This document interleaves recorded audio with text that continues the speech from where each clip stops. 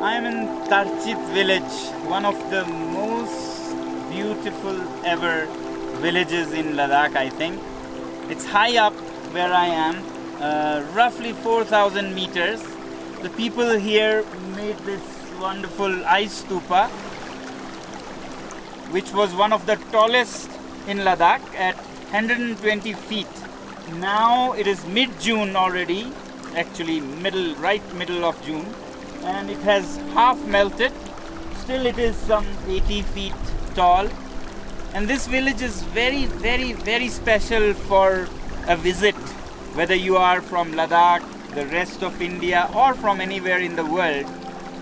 Beautiful mountain valley with some 30 beautiful families with very welcoming people and the surroundings are all these uh, granite monolithic rocks full of rock formations that have mystical spiritual connections as people here believe lots of stories all around caves for meditation and fields green with peas barley vegetables and then this is one village where it's so high up there that only barley grows.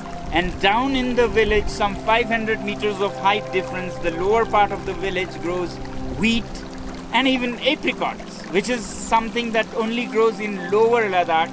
I'm amazed what a variety of things that this village has to offer. We are hoping to help them develop homestays or farm stays so that people can come away from the maddening noise of uh, cities and can spend a week or two, particularly good for writers, thinkers, creative people to come with their projects even. I am definitely thinking of coming again. Wonderful Tarchit.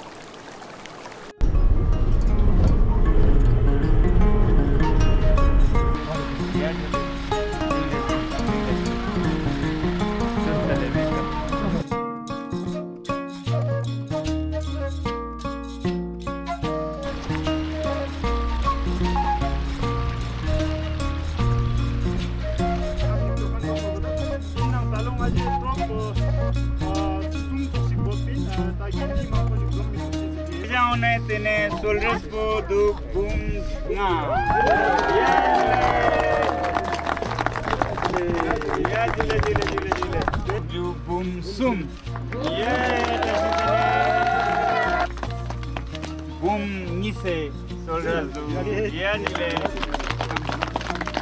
About the courage and uh, spirit that groups in different villages have shown to make their own glaciers, however small or big, rather than um, sitting hand on hand against this uh, challenge of climate change. We'll also be um, spreading a message from here to the world so that their lifestyle can make it easier for us in the mountains. Hello, people of the world. We are today gathered in this small village of Tarchit in the Indian Himalayas, Ladakh. It's a sad story in the mountains with climate change.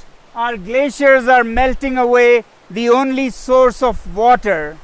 But today we are here not to mourn, but to celebrate human effort and ingenuity, whereby people have made their own artificial baby glaciers using nothing but gravity and geometry. They have frozen the winter water when there is no farming to make cones of ice, and because of the geometry, when all the ice and snow is gone by March, this stupa baby glacier lasts till mid July now.